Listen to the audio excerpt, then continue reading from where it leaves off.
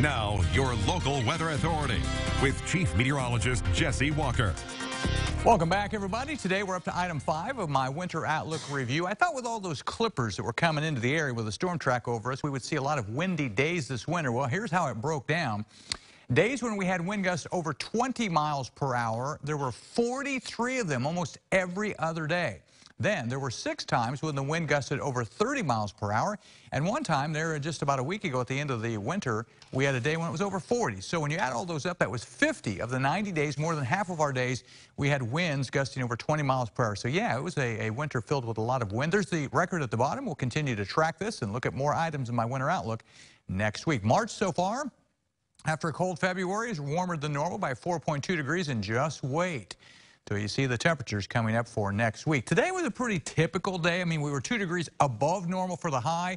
We were three below for the normal, so about normal across the area today. 76 the record high, but look at this. Back in the 70s, we had a lot of cold weather. 1978, this day, 11 below zero for the record low. No precipitation today, none for the month, none expected over the next few days, but that's going to change as we get into next week.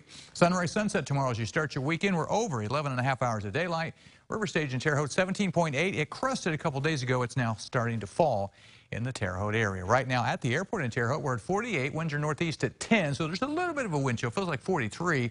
And the pressure is pretty high. High pressure is in control of our weather. Temperatures in the 40s all across the area. 42 Crawfordsville, 47 Bloomington, 45 over in Robinson, Illinois right now on the water vapor satellite.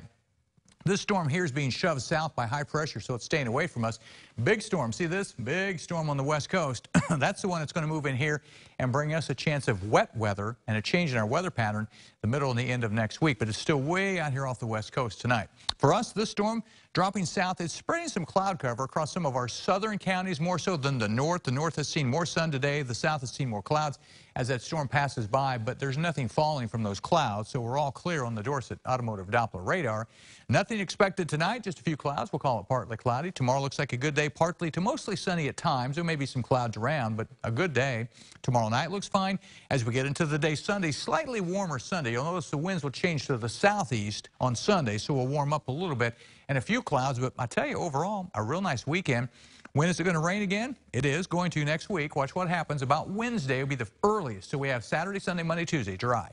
Rain chances on Wednesday, although that would be minor. I think the bigger rains would come as we get into the day Thursday and Friday. This could be somewhat heavier rain, maybe some thunderstorms mixed in.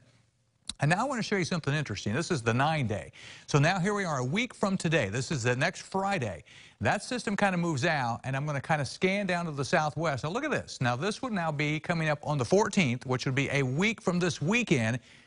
A snow possibly. Oklahoma City, Wichita, could that head our way? I mean, it is March. Weird things happen. We'll keep an eye on that, but that's down the road a little ways. Temperature-wise, you can see what happens. The cold air stays to the north. This is the really mild air. That overspreads the area as we head into next week, and we'll be camped out here.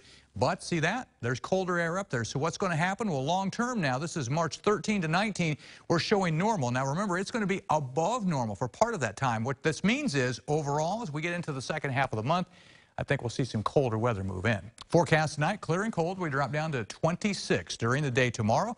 52, not a bad day. Partly sunny skies out there, a northeast wind. And then after that, slightly warmer as we take you into the day on Sunday at 56. And next week, spring fever, highs in the 60s. Rain chances late Wednesday into Friday. Grant? Thank you, Jesse. Looking great straight ahead in